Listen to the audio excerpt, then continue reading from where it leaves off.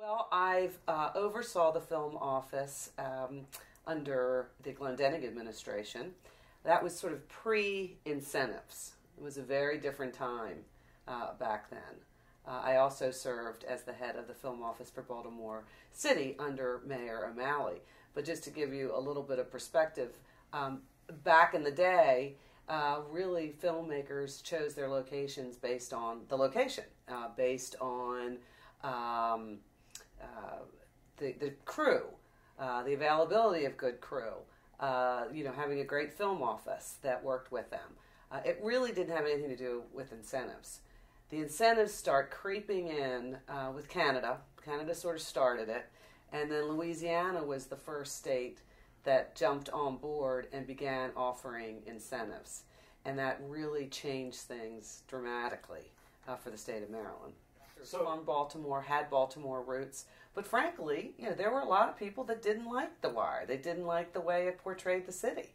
Um, and so you know, one of the comments that I made along the line was, you know what? It doesn't necessarily show all the beautiful aspects of Baltimore City and some of the surrounding areas, but it is an urban story, and this could be Detroit, Chicago, etc. And they could pick up and go to Philadelphia and shoot the show in Philadelphia and still call it Baltimore. So we've lost the economic impact and we've lost the jobs for our crew. So that doesn't make any sense. Uh, but there were, you know, a number of folks that really did not like The Wire. Um, it, it's a dark story, uh, but it was renowned, award-winning, uh, and so we had that relationship with them for for several years, four seasons, five seasons.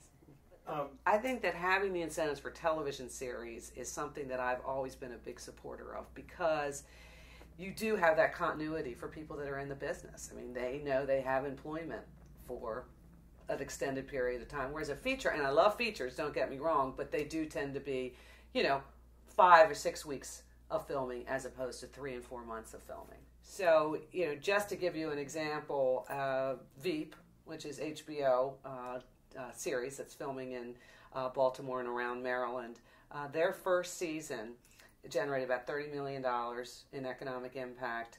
There were over a thousand uh, vendors, small bit, a lot of them small businesses that were used, and created over 950 jobs for cast, crew, and extras. And that's so that's just one, you know, one example.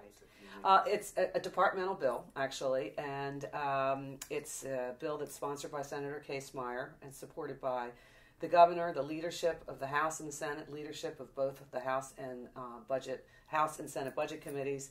We have a tremendous amount of support for this for this industry. But it's twenty five million dollars uh, in tax credits for FY two thousand and fourteen. Uh, 7.5 for fiscal years 15 and uh, 16. The reason it's such a large number for 14 is we had commitments. We actually committed FY 14 tax credits in advance in order to get House of Cards. So those tax incentives include commitments that we have made uh, to retain House of Cards for a second season. Uh, because it's 13 episodes, one hour episodes. I mean, the economic impact and the job creation of that show alone is extraordinary. And then season uh, three for Veep. So we had to sort of front load that. Um, and um, then there's also about two and a half million dollars in addition to that that will be available for other smaller independent films. We've had this industry in the state of Maryland.